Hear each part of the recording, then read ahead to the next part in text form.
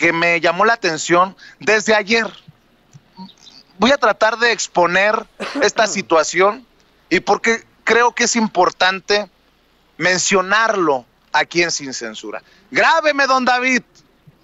A ver, ayer me llamó la atención que Marco Olvera, uno de los corresponsales de medios alternativos e independientes, le hace una pregunta al presidente, un, un planteamiento para la reflexión al presidente Andrés Manuel López Obrador, y el presidente se agarra 30, 45 minutos para responderle. Eso no es culpa del corresponsal. Él plantea, López Obrador responde, pero bueno, a una segunda pregunta, porque de acuerdo al reglamento, aquí al interior de Palacio Nacional, se pueden hacer hasta dos preguntas por participación. No cinco, diez, como algunos colegas de medios tradicionales lo hacen, pero bueno, esa es harina de otro costal. Y cuando el presidente termina de responder la primera pregunta y Marco menciona que va a hacer su segunda pregunta, se oye pues el murmullo, el reclamo de esos que pues que no necesariamente aceptan que está cambiando, que se está transformando eh, este panorama, este campo de los medios de comunicación. En otras palabras, hay medios independientes a los que les caga que haya medios independientes, eh, perdón, que hay colegas de medios tradicionales a los que les caga que haya corresponsales de medios alternativos e independientes. Bueno, dicho lo anterior, pensé, qué mala leche, porque hay colegas como la corresponsal de Milenio, que se la pasa tomándole fotos a ver si agarra a Carlos Pozos, conocido como Leor Molécula, durmiendo en la primera fila de la mañanera, o que en efecto ya tomó video de un colega que después dijo que estaba sufriendo de una situación médica y que lo exhibió gachamente, lo exhibió gachamente por presuntamente quedarse dormido en la mañanera. O sea, hay colegas que están en todo menos en lo importante. Esa es mi opinión.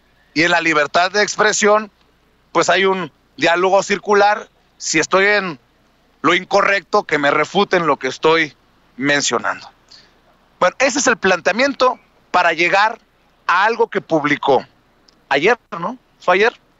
Ayer, en el periódico Milenio, en su columna, Carlos Marín. Yo no sé si Carlos Marín siga siendo el jefe editorial ahí en Milenio. Creo que ya dejó el puesto. Pero de que tiene peso, por lo menos al interior de Milenio, eso que ni. Carlos Marín, el hombre que ha dado petardazos increíbles como decir que los padres de los desaparecidos de Ayotzinapa tendrán que pedirle, ofrecerle disculpas a Murillo Cara, a Peña Nieto. Ese Carlos Marín que ha defendido a los malandros. Ese Carlos Marín que entrevistó hace unos días a Vicente Fox y que se la puso en charola de plata y el imbécil aquel terminó diciendo que con el poco cerebro que tiene, cosas de la vida.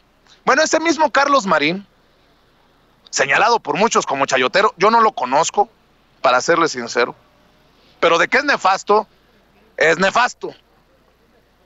Carlos Marín escribió, hay un sujeto que todas las mañanas le hace de tapete al presidente Andrés Manuel López Obrador en sus pláticas para desmañanados. Desde ahí, la descalificación para el colega y para las mañaneras. Con la complicidad de la oficina de prensa de Palacio Nacional, se cuela entre periodistas genuinos como corresponsal de Radio Latino Inc.com, tu estación que prende. Pregunta, ¿quiénes son los, ¿qué dijo? Periodistas genuinos. Ah, cabrón. ¿Quiénes son los periodistas genuinos, don Carlos Marín? Usted va a ser la autoridad y el juez para decir quién es genuino y quién no, pues entonces ya me llevó la chingada porque por mal hablado y transmitir en, por solamente transmitir en medios digitales, seguramente somos de un nivel inferior a su majestad. Pero bueno, déjeme seguir leyendo. Dice que tu estación que prende Radio Latino es una entelequia del vecindario cibernético, donde bajo la frase mujeres exitosas capitaliza un traspié propagandístico de la dirigente nacional de Morena, titulándolo Jacob Polemski en entrevista con Marco Olvera. En una fotografía, este marco de referencia posa con enfática seriedad y labios apretados, clavando en la lente una mirada, una mirada inexpresiva, hipnótica, diríase, con el brazo izquierdo sobre los hombros de la señora que como si la abrazara Drácula, hace una mueca de sonrisa que la delata nerviosa. La mención a este sujeto viene al caso porque ayer, sí fue ayer, ¿no? Tiró un globito que dio pie a una disquisición de 45 minutos y lo pone con signos de admiración, que consumieron casi la tercera parte de la mañanera y de vergüenza. Hizo un segundo comedido planteamiento que provocó la repulsa de los verdaderos reporteros. Pregunto yo, ¿cuáles son los verdaderos reporteros? ¡Ta madre! Qué lástima que no fui a la mañanera ayer, chingada madre. Para que don Carlos Marín nos meta en el saco de los verdaderos reporteros. A eso me refiero. Bueno, dice que a los verdaderos reporteros Marco Olvera tuvo la desfachatez de replicar. Cuando ustedes preguntan, nadie los cuestiona. ¿Y sabe qué, don Carlos Marín? Tiene toda la razón, Marco Olvera, porque yo he escuchado a corresponsales de medios tradicionales preguntar, por ejemplo, sobre los pedos que traía la familia de José José, por dónde iban a sepultar o dónde iban a descansar las cenizas del príncipe de la canción, y ahí nadie dijo nada. O seguido veo y escucho a colegas, con mucho respeto lo digo, que escupen preguntas con un preocupante sesgo y línea editorial. Y esas no las cuestiona don Carlos Marín. ¿A qué chingados la va a cuestionar, cabrón? Pues sí, ahí protegen el milenio al barbón de Diego Fernández de Ceballos. Pero bueno, pregunta, ¿qué inquietud para nada periodística le expuso a López Obrador, con la súplica, así lo dice este recabrón de Carlos Marín, con la súplica de que me perdonen los lectores, la reproduzco letra por letra. Y escribe, Presidente, buenos días. Con el respeto que se merece la investidura presidencial y por supuesto a usted como jefe del Ejecutivo, quisiera preguntarle un tema reflexivo. ¿Le tocó bailar con la más fea? Presidente, luego de que los sexenios pasados dejaron el país en llamas, saqueos, desvíos de fondos, niños atendidos con agua en lugar de quimioterapias por los gobiernos del PRI del PAN, obviamente, también medios de comunicación que recibían chayos, reporteros y columnistas que obviamente son más que evidentes. ¿Qué me puede contestar? ¿Sí le tocó bailar con la más fea o no, presidente? Y si se arrepiente de ser jefe del Ejecutivo. Habituado a las frecuentes lamidas de suelas, el interpelado, o sea, el presidente, se despachó en grande, comenzando por la dicha de encabezar un movimiento de transformación y siguiendo con lo complicado de su chamba, porque a pesar de que saquearon al país por décadas, hay muchos recursos naturales, muchas riquezas en el país, un pueblo extraordinario, un pueblo bueno, un pueblo trabajador, y se fue tendido con definiciones de la democracia, el recuerdo del avión que ni Obama tuvo y nadie compra la resistencia de sus adversarios, las desgracias, las desgracias del periodo neoliberal y a propósito de la actuación de criminales en el Culiacanazo, con el envío de un mensaje a los que están en malos pasos que piensen que ese no es el camino, que eso no es vida, que no dejen de pensar que solo siendo buenos podemos ser felices y que lo más importante es el amor al prójimo. Más lo demás de siempre. Un asquito, pues, así lo escribe Carlos Marín, un asquito, pues, el inquisitivo Marco Servilleta Olvera. Me parece despreciable de un periodista que dice tener pues la verdad en sus manos, por eso la escribe, y que se exprese así. Porque vamos a ponerlo muy sencillo.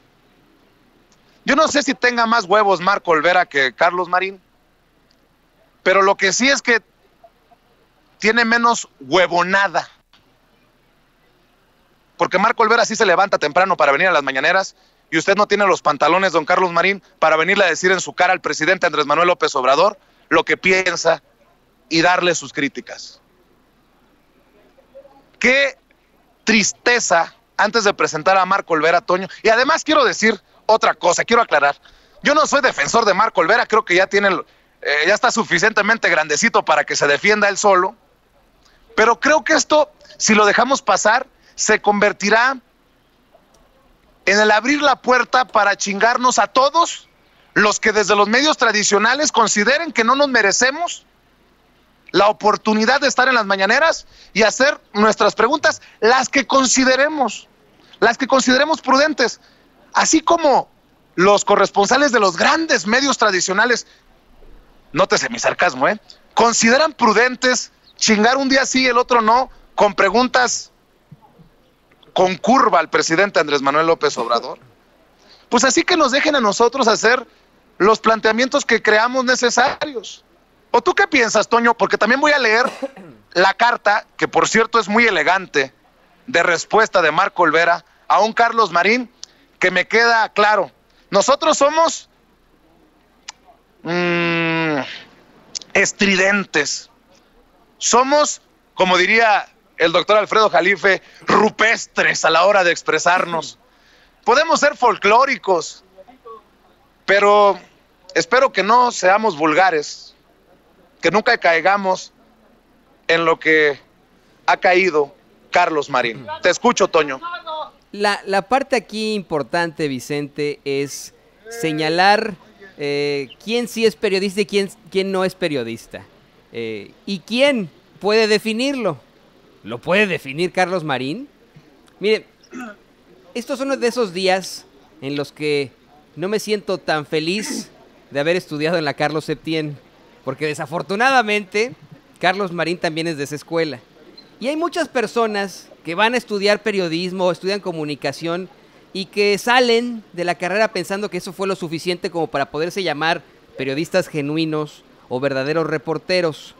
Hay otros que dicen, no, eso se vive en la calle. Y se lo dicen a usted eh, desde los medios de comunicación tradicionales. Se lo dijeron a Vicente Serrano. Un Jorge Berry en un debate eh, también cuestionaba quién sí era periodista y quién no.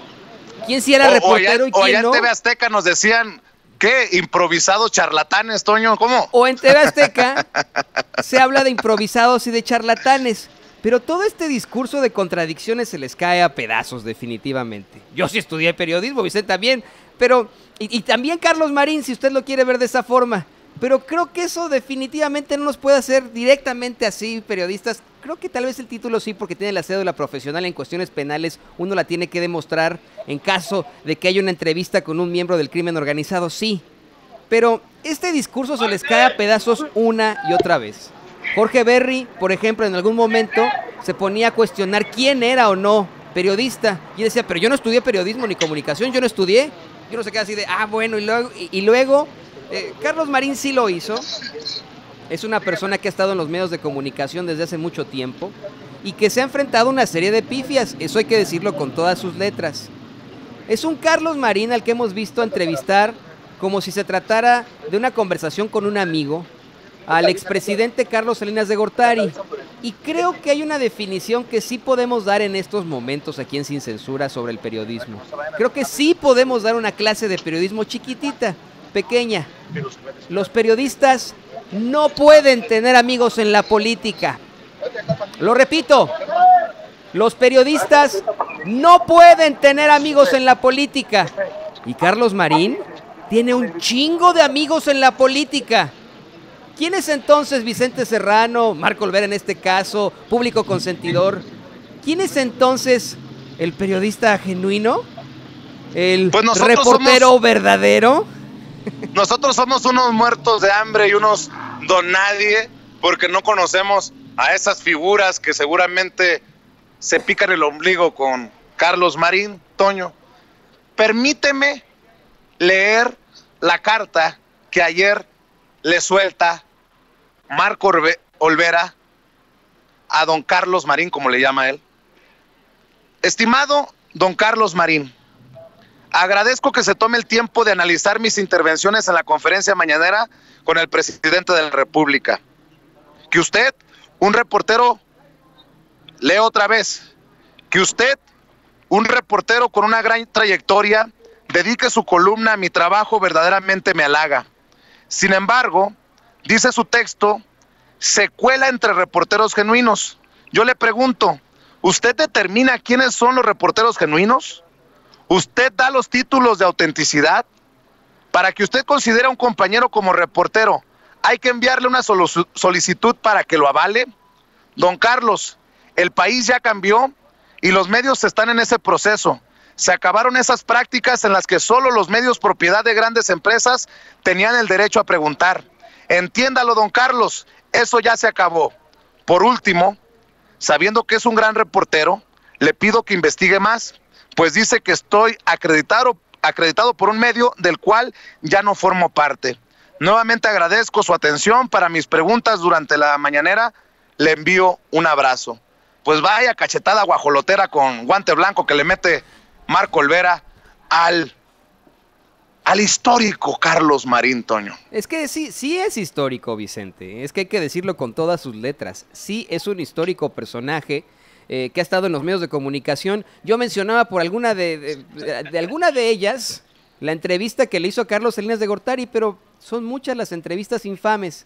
Creo que eh, la única vez que me, me, llamó la atención y que me pareció que hizo un buen trabajo periodístico fue cuando cuestionó a Peña Nieto por eh, haber permitido que Donald Trump se meara, cagara, vomitara, así lo puso él, eh, así lo dijo él, en, el, en, el, piso de todos los mexicanos al invitarlo, siendo eh, candidato, ¿no? Pero de ahí en fuera, pues es una persona que siempre ha estado en, los, en, en, los, en las esferas del poder, cerca de esas esferas del poder. Me acuerdo también, Vicente, una vez que se atrevió a salir a calles del centro histórico y que fue reconocido de inmediato y que la gente le dijo, óyeme, no estamos de acuerdo con lo que dices, qué bueno, no, no le hicieron nada.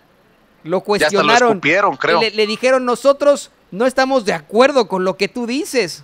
Y hasta lo escupieron, Toño. Ah, sí. Bueno, eso, eso es muy lamentable. Y precisamente aquí en Sin Censura dijimos no a la agresión. Una cosa es diferir con Carlos Marín, pero otra cosa es los escupitajos. Eso no. Eso, no, lo vamos a solapar. Y nada. más como aclaración, Toño, ya que se encuentra con nosotros Marco Olvera, al que le agrade a quien le agradezco que eh, se haya quedado después de la mañana para hablar con nosotros sin censura. Con mucho respeto, don Carlos Marín, por todo el bagaje que viene cargando por tantos años de relaciones malsanas con el poder, por todo lo que viene cargando Milenio, déjeme decirle que yo le creo más a Marco Olvera que a usted. Y allá de Marco Olvera, que nos falle, porque seremos los primeros que le vamos a cargar y duro. De eso se tratan los medios independientes, Marco. Espero que no te ofendas con lo que acabo de decir, pero el día que veamos que nos vayas, te caemos encima también. ¿Cómo estás? Muy bien, gracias por tu invitación, por supuesto, a los seguidores de Sin Censura y principalmente a ti por esta oportunidad de eh, pues no de defenderme, porque yo no tengo que defenderme de nadie. Eh, estoy seguro del trabajo que hago, estoy convencido de las preguntas que planteo al presidente y te insisto, Carlos, tu trabajo como periodista realmente ya es un cascajo, debes aceptarlo. Y como persona eres una miseria humana ah, cuando aquí hasta cuando te mueras, porque no se trata de, de atacar y aparte lo, usas una pluma para manifestar tu odio que llevas. Pero acuérdate que tú estás terminado periodísticamente hablando. Eh, fuiste cómplice de los gobiernos de Fox, de Calderón, de Enrique Peña Nieto, y ahí no dijiste nada, porque obviamente te codeabas con el presidente y tú sí te metías hasta la cocina con el presidente, y yo no sé qué tratos harías con esos presidentes que callaron todo lo que saquearon del país, la quiebra de Pemex, la, la quiebra de la Comisión Federal de Electricidad, los saqueos de varios gobernadores y por supuesto lo que expuse también al presidente, de que atendían niños con agua en lugar de, que, de las quimioterapias que deberían de haber recibido. Hay muchos padres que pues hoy sufren la partida de esos niños. También te recuerdo que callaste cuando hubo el incendio del ABC, porque yo nunca le vi un reportaje a Carlos Marín sobre ese tema. Y estoy... oye, ¿tú lo viste hablar de la Casa Blanca, por ejemplo? No, por supuesto, pues obviamente yo creo que le daba un espectáculo a la gaviota, ¿no? A lo mejor privado. Marco, esto es odio hacia los independientes que estamos ganando terreno, a los medios alternativos que a lo mejor pues no tienen el nombre, como en el caso de tu medio, eh, que es un medio pequeño que no tienen el nombre de Milenio, o es el, la fobia a López Obrador, es la, el odio contra un ejercicio como la mañanera, que les guste o no, es lo que marca agenda en la vida política de México. Sí, por supuesto. Yo creo que esos periodistas anquilosados, como es Carlos Marín, no le tiene odio a los reporteros que venimos a las 5 de la mañana y nos formamos en primera fila, levantamos la mano, hacemos nuestros planteamientos, leemos, nos informamos, pues no como su reportera, ¿no? Que, no, que nada más pregunta lo que trae su medio y lo que se le ocurre a la señora que está ahí sentada en tercera o cuarta fila porque llega tarde, que eso a mí que me importa.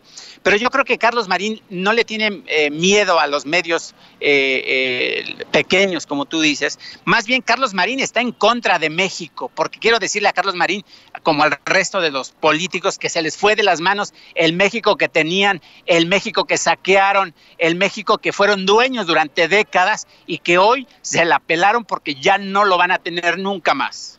Qué cabrón eres, Marco. A ver, ¿Qué, qué? Mira la gente. ¿Qué? ¿Qué le planteas ayer que les dolió al presidente? Yo lo hubiera hecho para la reflexión, porque lo único que en muchas ocasiones se necesita es que el presidente hable.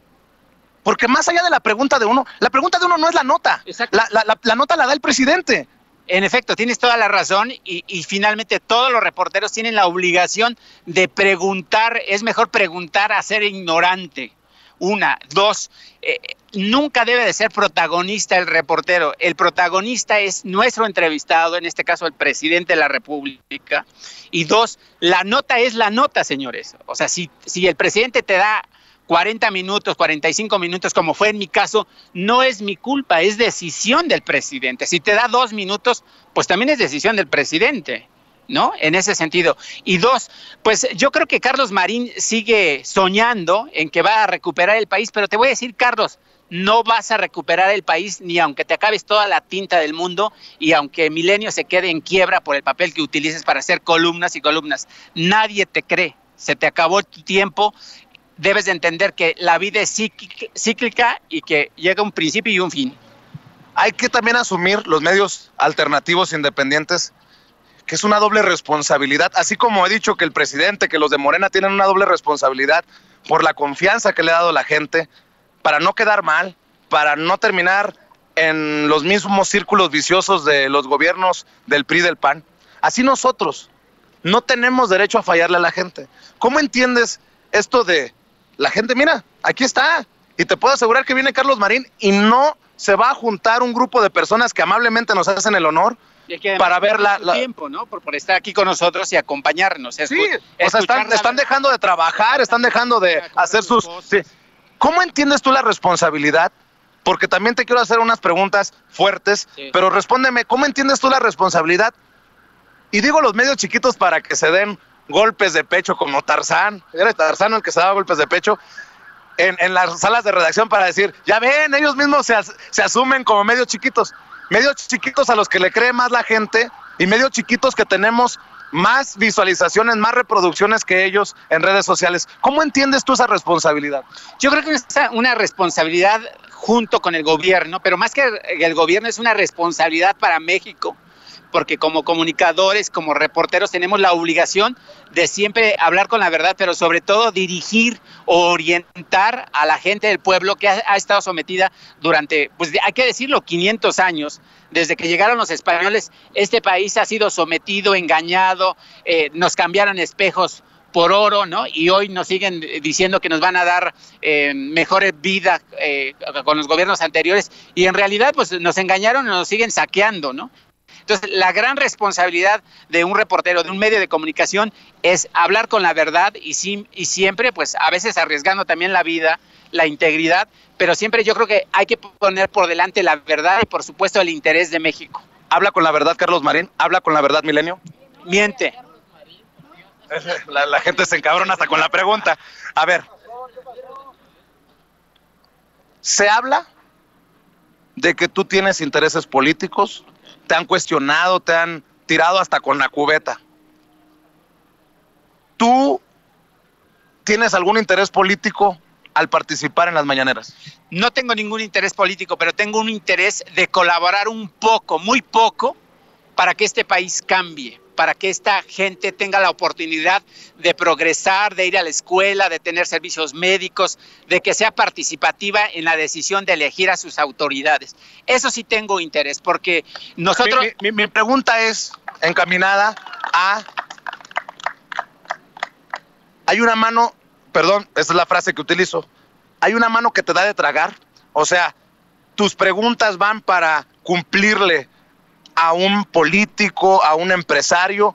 Te lo pregunto porque cuentas claras, amistades largas. He, sido cuestionado sobre ese tema y qué bueno que me lo preguntes. La gente cree que todo el león es de su condición y yo no soy Carlos Marín que recibe, yo no sé si reciba Chayo o le paguen su cheque mensual, pero a mí me paga nada más la empresa, que es Bajo Palabra, que es un diario digital con sede en el estado de Guerrero, y Carlos investiga o, o, pone a trabajar a tus compañeros para que no cometas errores y mientas diciendo que soy corresponsal de una estación que existe, pero la que ya no formo parte y tampoco me paga mis honorarios. Yo trabajo durante más de 28 años y siempre he vivido del resultado de mi trabajo de lo que me pagan los medios. He trabajado en periódicos como Reforma, El Universal, fui corresponsal de Univisión, trabajé en la agencia Notimex y también he hecho funcionario eh, público, fui subdirector de comunicación social del Senado de la República y ahí está todos mis documentos en acceso a la información que la pueden averiguar, ahí están las hemerotecas, ahí están las bibliotecas donde pueden saber de dónde soy, quién soy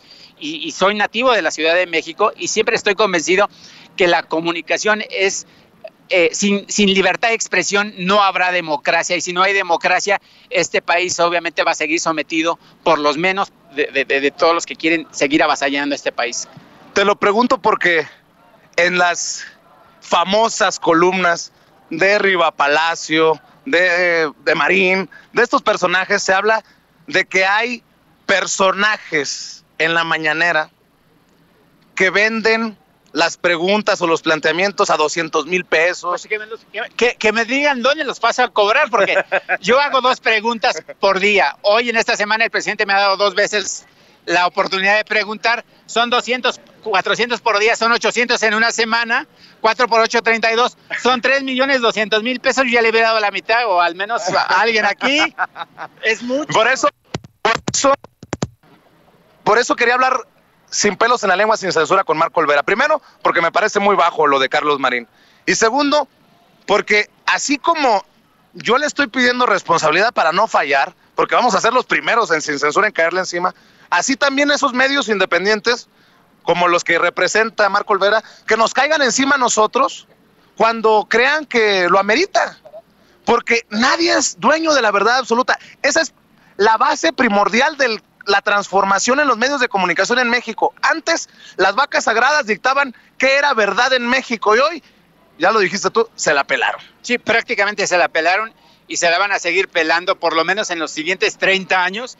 Y yo le recomiendo a la gente que quiere un cambio verdadero que siga apoyando no la cuarta transformación, sus ideales, para que ya no sigan sometidos, para que ya no sigan pisoteados, pero sobre todo peleen por la verdad y apoyen a quien dice la verdad. Estoy buscando eh, en estos momentos, mi querido Marco, para despedirte, para que me des tu opinión. Estoy buscando un tuit que ayer critiqué, que la verdad demuestra también eh, la descomposición de los periodistas que trabajan en los medios eh, grandes. Déjame encontrarlo por ahí. A ver si me ayuda el buen Toño y me lo manda por nuestro chat de WhatsApp que es el de Ana Paula Ordorica. Ah. ¿Sí, ¿Sí, lo viste? Sí, sí.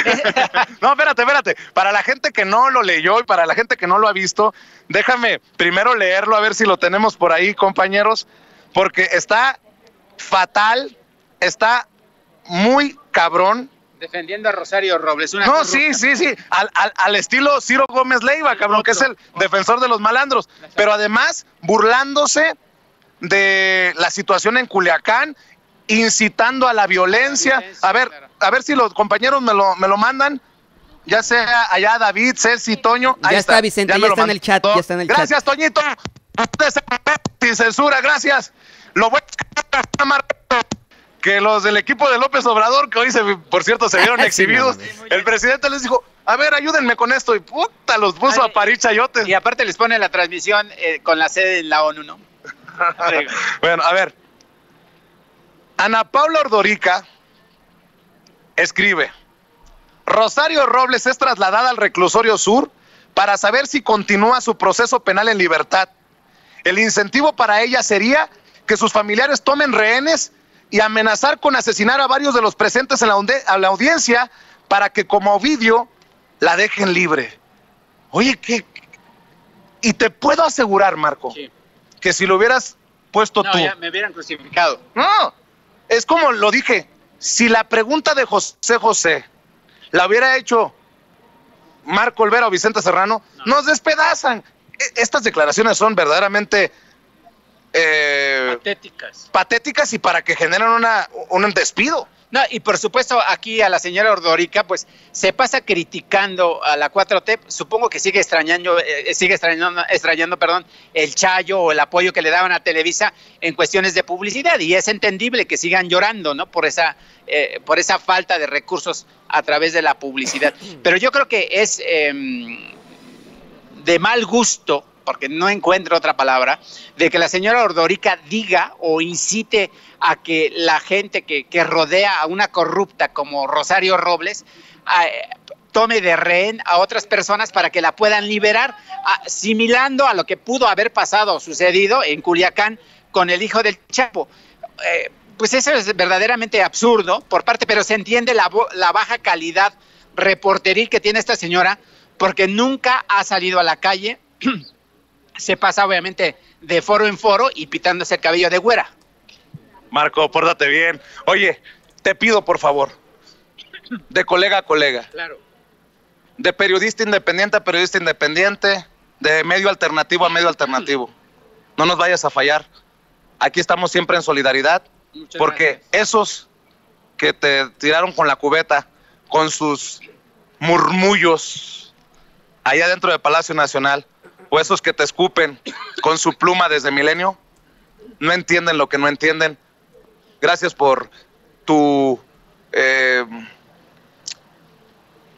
por tu generosidad, con tu tiempo, por habernos aguantado y por hablar así, abiertamente, sin pelos en la lengua, sin censura. No, pues gracias a ti, gracias al auditorio y veo que tienes aquí mucha gente que atender y gracias a la gente que nos ve a través de las redes y yo quiero decirles que seguiré comprometido con una profesión que me gusta, que aunque no me pagaran la, la, la voy a seguir haciendo y que llevo pues prácticamente 30 años en esta profesión que me encanta y la volvería a estudiar, la volvería a eh, ejercer aún después de la muerte. Marco, muchas gracias, Marco. Gracias. Y dejar que los. Como decía eh, el Quijote de la Mancha, cuando los perros ladran, significa que vamos caminando y vamos para arriba. Órale, gracias Marco Olvera, hablando con nosotros sin censura y sin pelos en la lengua en este espacio. Mi querido Toño dejó la víbora chillando, Marco Olvera, ahora sí que nos ganó el tirón y hoy es él quien deja la víbora chillando. Sí, sí, definitivamente es un, es un periodista hecho y derecho. Yo conozco a Marco Olvera y en efecto, una cosa es que eh, se acuse de, vamos, de, tener tendenciosos y etcétera, y otra cosa es ser un periodista hecho y derecho y un, y periodista independiente. Tenemos que entender también que no somos robots, eso lo quiero repetir hasta el cansancio. Nosotros como periodistas no somos micrófonos, algunos sí, ¿eh? Algunos sí son pinches micrófonos, se acabó, leen un prompter y eso es todo. Eh, pero nosotros, los verdaderos periodistas, no somos micrófonos, no somos robots, somos periodistas de carne y hueso y podemos tener una opinión. En el periodismo se vale la columna, se vale el artículo de opinión. Es un Marco Olvera que está expresando su opinión, que puede tener alguna, vamos, alguna, alguna, puede seguir alguna corriente política, muchas personas lo hacen, muchos periodistas lo hacen. Aquí en Estados Unidos, cuando se lanza eh, alguna candidatura, alguna campaña, incluso la campaña presidencial, los diarios y televisoras con todo el derecho apoyan a uno u otro candidato. El New York Times dice, nosotros vamos a apoyar la candidatura, por ejemplo, de Barack Obama. Por ejemplo, no estoy siendo un ejemplo muy ahí. Eh, esa es la respuesta que puede dar un periodista porque seguimos siendo de carne y hueso y seguimos siendo personas que tenemos nuestra opinión. No somos robots, esa es la realidad. Yo aprecio mucho que tengamos a Marco Olvera en este programa, en este Sin Censura, que aclare las cosas y que hable de alguien como, como Carlos Marín, que nos ha quedado mal en los medios de comunicación. No nos ha quedado mal a nosotros los periodistas, nos ha quedado mal a nosotros los mexicanos, con esas coberturas que ha tenido, esas pifias y esas amistades con gente en el poder. Amistades que él eh, reconoce una y otra vez. Y se lo repito a Carlos Marín, a, mi, vamos a decirlo, a mi compañero de la Carlos Septién, si usted lo quiere ver así, pero desde hace muchos años, por supuesto. Se lo repito una y otra vez. Los periodistas no pueden tener amigos en la política. Punto. Así es, mi querido Toño.